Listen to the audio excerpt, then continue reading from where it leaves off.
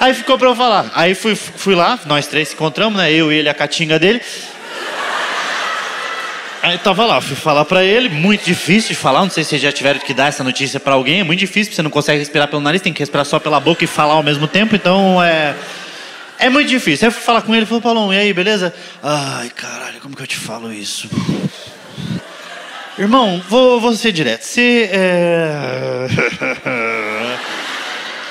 Tá ligado que a gente se conhece há um tempo aí, eu já te conheço há uns oito anos, você fez já dez. É.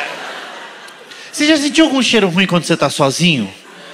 Aí ele falou, não. Eu falei, pô, só dificulta as coisas mesmo, né? Qual perfume você costuma usar? Ele falou, não uso nenhum, tenho alergia. Eu falei, ah, entendi, então tá bom então, só tá piorando as coisas. Falou, lembra aquela vez que a gente passou perto do Tietê e ficou mó cheiro ruim no carro? Ele falou, lembro. Eu falei, ah, então, não, não tava nem em São Paulo, não tava em Curitiba, não tem Tietê.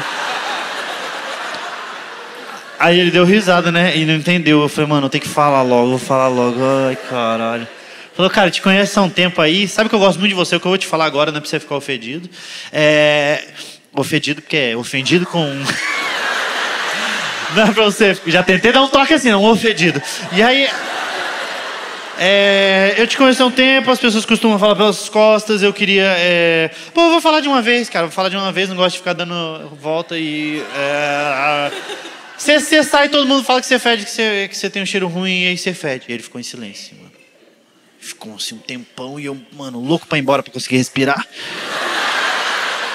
Aí ele olhou pra mim e falou: Sabia que ninguém gosta de você? E ele virou o jogo. Porque a partir daquele momento, foda-se que ele fede. Eu quero saber quem que não gosta de mim. Quem que não gosta de mim que você tá falando aí? Senhoras e senhores, eu sou Afonso Padilha. Muito obrigado. Muitos aplausos.